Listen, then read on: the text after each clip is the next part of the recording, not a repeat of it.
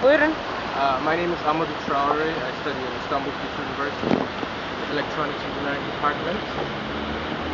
I'm from Mali. Okay. Uh, why have you chosen um to study in Turkey? Well, Turkey is a country where uh, that they're really developing in the educational sector, in the education sector. So I think it would be a smart choice for my future choose this country because from the recent buzz, I would say about the educational system, it sounds to be a very qualitative one. So that's the reason I decided to come.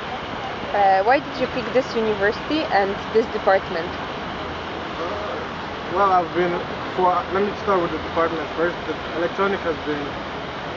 I've been a fan of technology my whole life. Actually, I, I've loved everything, you know, technologically connected. Anything connected to technology, I've really been a fan of it. So that's the reason for my uh, selection of the electronic department.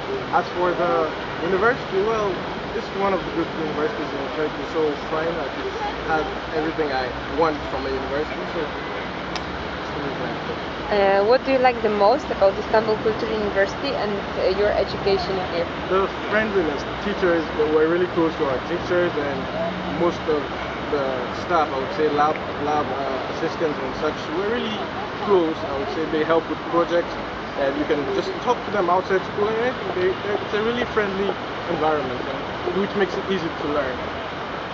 Uh, what have you most enjoyed at the university? Well, we have many activities in the university, such as the international days and boat trips around. We have dinners on the boat, like going around on the sea. You know, those are fun things, extracurricular activities we do outside the school just to make our life, you know, add a little fun to the learning experience. Okay. Uh, can you please tell us something about your living conditions? Where do you live? Is it a dorm or is it a private place? Like, how do you find it?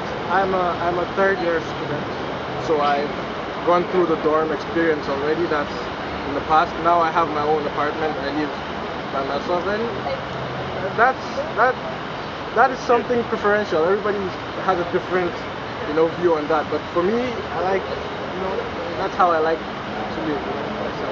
Uh, are there many international students at this university? Yes, Uh, like, from what kind of countries?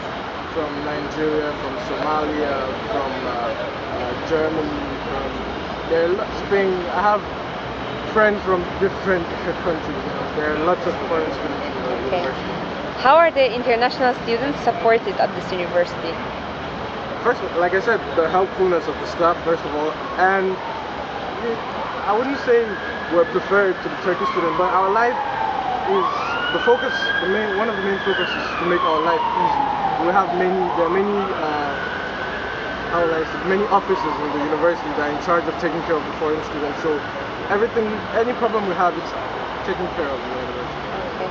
Do you want to add something? Well, if anybody wishes to, you know, partake in the experience the university has to give, I think it's a good idea because so far I've been having fun and my learning experience has been excellent. So that's all I have to say.